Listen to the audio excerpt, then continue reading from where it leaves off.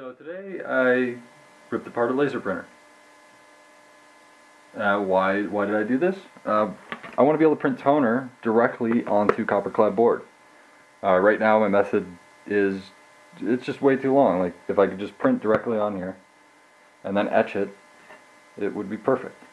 So I ripped apart this laser printer.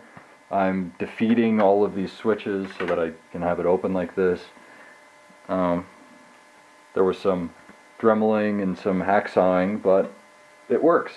Um, so let's let's see it in action. I've got a circuit board queued up. I'm going to put the laser shield up so that I don't lose my eyeballs. And we'll see if we can actually make this thing work. One, two, three. Ooh, pretty. Okay. As you can see, it is it is indeed printed on there. You're not supposed to do this, but eh, whatever. Ugh. Okay, so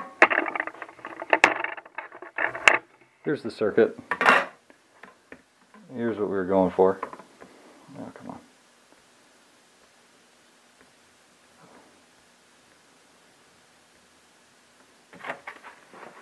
So it's not all on the board. So that's one issue. Another issue is that there are light traces. And I believe that is because the pressure of the roller against the uh, transfer is not, it's not tight enough. There's not enough pressure there, so it, it leaves some behind on the roller. But beyond that, I am very amazed that this is even working. Um, so I'm not using the heater element, so I'm not fixing the toner, uh, so it, it's still just toner. Um, but that's easily solved with an oven or a convection oven or a skillet or whatever.